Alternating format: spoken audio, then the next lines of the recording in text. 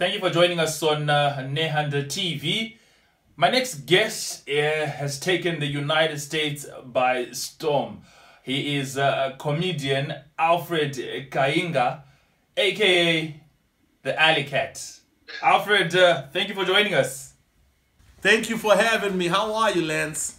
Yeah, man. Uh, good things we are hearing coming out of the United States.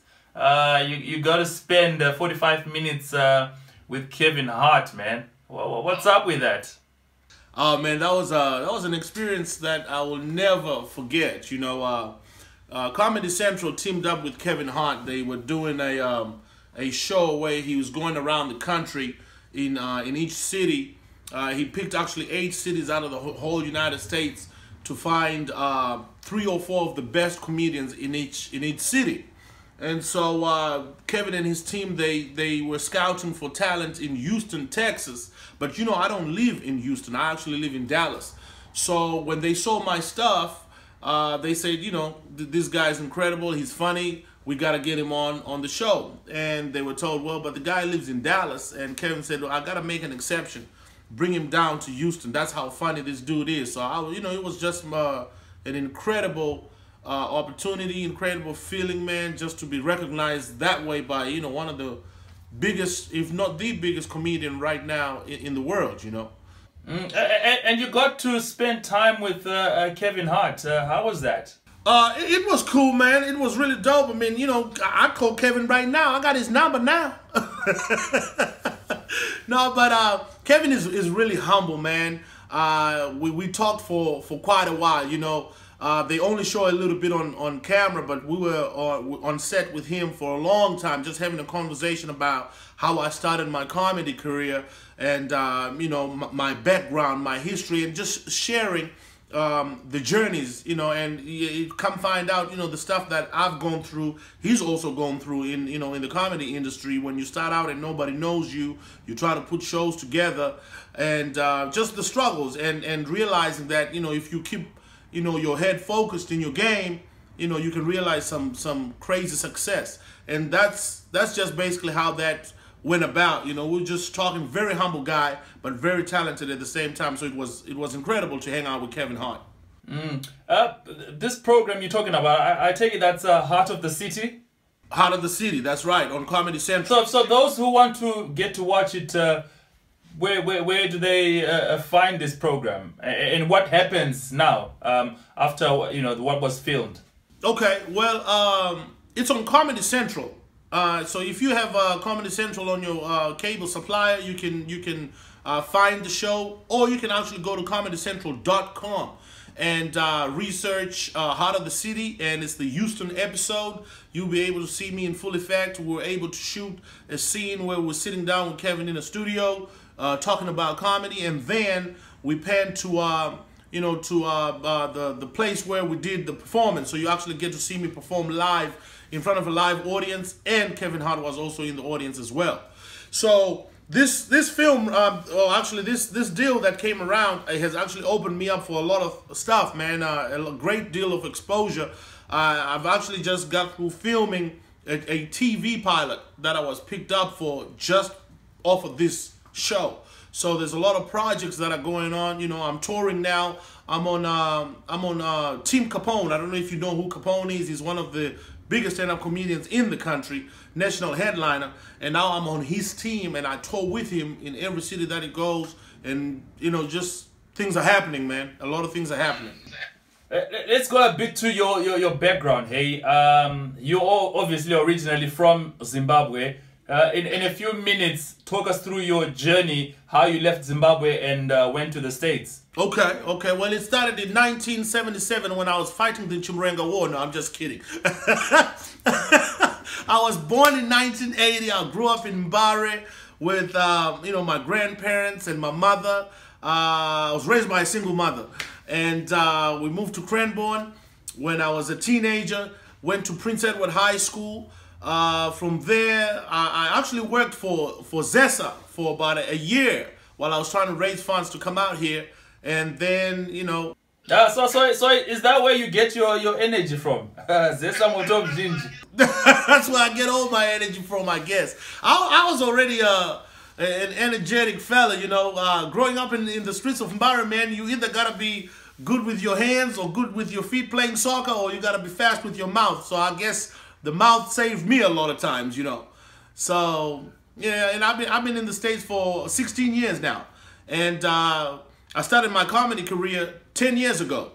Yeah, we, we, we can tell from the accent. Hey, you you you now sound like an American. No, sir. I still sound like a Zimbabwean who just lives in America. but you, you, you know, I used I used to sound like this even when I was in, in, in, high school. You can go back and ask Mr. Barnes or Mr. Atkinson. They'll tell you, man, I was real smooth, man. now, I mean, in, in, terms of the transition, uh, you you moved from Zimbabwe to America. You obviously are interested in comedy. Uh, how how did you fashion? uh, a way through for yourself um, on the comedy scene in America? Oh man, it, it, it wasn't easy. Uh, in the beginning, it really wasn't because the one thing that I had to conquer first was fear, my fear, because I didn't know how people were going to respond to my my comedy. Uh, here I am, an African cat coming out of Africa and trying to do this in a place where there are thousands and thousands of talented comedians. So uh, I had to, you know, conquer that first. And once I got past the fear, and I guess that's probably why it took me six years before I got on stage. You know, because I one thing I needed to do was also learn, you know, the humor, the type of humor, what makes people laugh here, and and and what makes them, you know, go.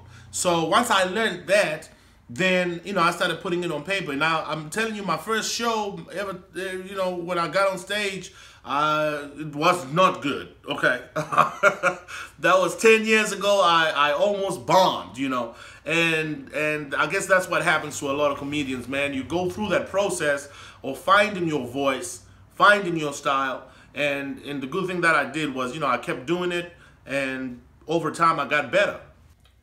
So it looks like uh, you you're having quite an experience, um, uh, Alfred. I mean, have you had time to soak everything in and just absorb what you've accomplished so far?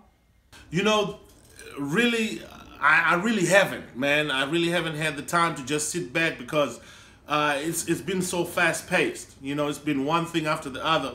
After we taped that uh, uh, Kevin Hart uh, presents with the Hart of the City, I immediately got on tour with uh, with Capone, and so we've been. And right after that, I had to go to Atlanta to shoot a, a TV show. Uh, so it's just a lot of things that are happening. But you know, once in a while, I just stop back and, and think to myself, "Wow."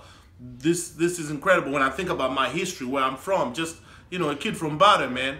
You know, and and this this is happening. These are the people that I grew up watching on TV. I, am working with these guys. You know, I'm I'm working with Michael Colyar. You know, uh, Bruce Bruce. You know, superstars in in the comedy game, and. Uh, and they just uh, accepted me for you know who I am and what I got to offer. You know. Uh, how are you connecting with your Zimbabwean roots in terms of uh, of Zimbabweans? Are they appreciating what what you're doing? Do they know yet um, just exactly what you're accomplishing in the states?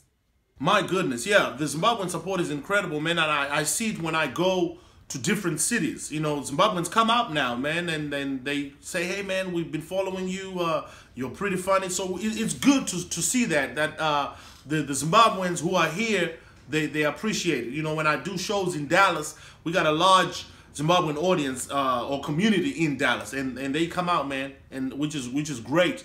And when I see it, when I go outside, you know, to Philadelphia, California, wherever, Zimbabweans they come out to support. So which is which is good, which is very good. Well, it's been a pleasure uh, chatting to you, Alfred. Uh, before we let you go, uh, surely uh, you could share list, uh, a minute or so, uh, just one of your funniest jokes. I mean, hit us with one, man. Man, you had to put me on the spot. One of my funniest jokes. Look, listen, uh, you, they gotta go on my YouTube page. I got plenty of stuff right there. I need more views, so please go to my YouTube page, which is Alfred Kainga. Uh, I need I need you to go watch my stuff. I need to get some more views. I'm on Facebook, Alfred Kainga. I'm on Instagram, Alfred Kainga. I'm on Twitter, and it's the same name, Alfred Kainga. So please Follow me on those things and watch my videos. I got a lot of stuff cooking and, I need more views. So bring it. Well, well played there. That was a nice get out of jail card. we'll, we'll, let that we'll let that one slide, Alfred. You know what I'm talking about? it's been a pleasure having you, man. Uh, take care, and uh, you know we wish you, um, you know, many more successes to come, man. Thank you, Lance. Thank you so much, man. And I appreciate what you're doing with Nehanda Radio, man. God bless you guys.